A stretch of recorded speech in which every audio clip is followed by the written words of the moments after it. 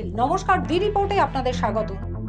রামনবমীর মিছিলকে কেন্দ্র করে রণক্ষেত্র হয়ে ওঠে হাওড়া, শিবপুর এবং হুগলির রিষড়া হাওড়ার পাশাপাশি হুগলির রিষড়াতেও বিজেপি সর্বভারতীয় সহসভাপতি দিলীপ ঘোষের নেতৃত্বে রামনবমীর শোভাযাত্রায় ফের হামলার ঘটনায় রাজ্যের আইন শৃঙ্খলা ব্যবস্থা নিয়েই উঠছে প্রশ্ন। প্রশ্নের মুখে পুলিশের ভূমিকাও।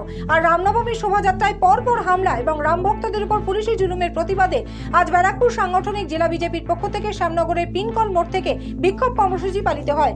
মিছিলের নেতৃত্ব দেন বিজেপির ব্যারাকপুর সাংগঠনিক জেলা সভাপতি সন্দীপ বন্দ্যোপাধ্যায়। বিক্ষোভ কর্মসূচিতে সামিল হন গারুলিয়ার বিজেপি কর্মী সমর্থকেরা।